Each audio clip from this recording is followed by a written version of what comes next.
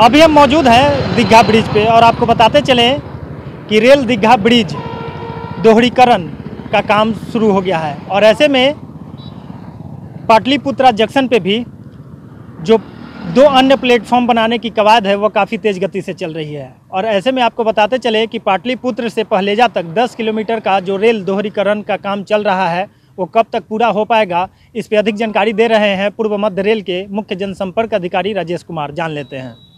Pataliputra railway station जो है वो पटना का एक अति महत्वपूर्ण रेलवे स्टेशन है। फ़िलहाल यहाँ तीन प्लेटफॉर्म हैं। अब यहाँ पे दो एक्स्ट्रा प्लेटफॉर्म बनाए जा रहे हैं। एक आयरन प्लेटफॉर्म का निर्माण हो रहा है।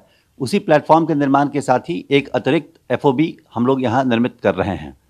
आशा है कि जल्दी ही यह एफओबी और प्लेटफॉर्म का निर्माण पूर्ण कर लिया जाएगा और यात्रियों की सुविधा के लिए इसे खोल दिया जाएगा। अगर लागत की बात करें तो सर कितनी लागत होगी? नहीं एक मिनट तो हो जाएगा। हम्म।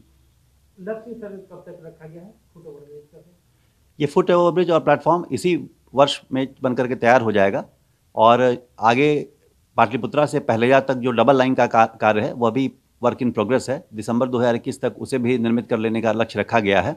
तो आने वाले दिनों में पाटलिपुत्रा एक महत्वपूर्ण स्टेशन बन जाएगी और कई ट्रेनें यहाँ से प्रारंभ होंगी और यहाँ पे अंत होंगी।